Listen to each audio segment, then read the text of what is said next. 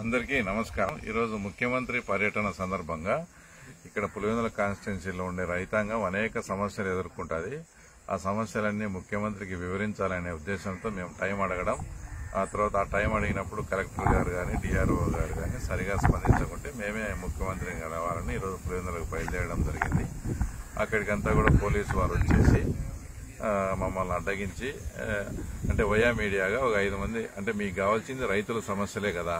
ఆ అంటే మీకు మీ పార్టీకి చెందిన వాళ్ళని ఒక ఐదు మంది మంచి రైతులను పంపించేస్తే మేము వాళ్ళను ముఖ్యమంత్రితో కల్పించి వాళ్ళ సమస్యలు ఏదైనా చెప్పుకునేదానికి మేము అవకాశం కల్పిస్తామని చెప్పడంతో ఆ తర్వాత మేము కూడా ఒక ఐదు పేర్లు ఇవ్వడం జరిగింది. బాపనపల్లె వెంకటరామరెడ్డి గారు తర్వాత పెద్దూటూరు రాఘవ్ గారు తర్వాత గుణకరపల్లెకు చెందిన ఆ, గుణకరపల్లెకు చెందిన అమర్ ఆ తర్వాత జయభరత్ రెడ్డి తర్వాత బొజ్జాయపల్లి గ్రామానికి చెందిన రాజేశ్వర రెడ్డి.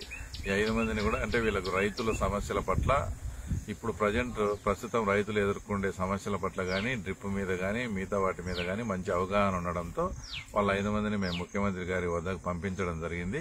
ఇక్కడ ఉండే పోలీసు వారు ఎవరైతే ఉన్నారో మేము తప్పకుండా ముఖ్యమంత్రిని వాళ్ళకి కల్పించి అవకాశం కల్పిస్తామని అందరూ హామీ ఇవ్వడంతో మేము కూడా ఏంటంటే మరొకసారి కూడా చెప్పేది ఏంటంటే ఈరోజు మాకే ముఖ్యమంత్రిని కలవాలని కానీ ఇదేం లేదు. మా మా ఇంటెన్షన్ అంతా కూడా రైతాంగం ఎదుర్కొనే సమస్యలు ముఖ్యమంత్రి దృష్టికి అసలు పోయినాయా? ఒకవేళ పోలేదా? పోయి కూడా స్పందించలేదా? అనే క్లారిటీ రావాలి.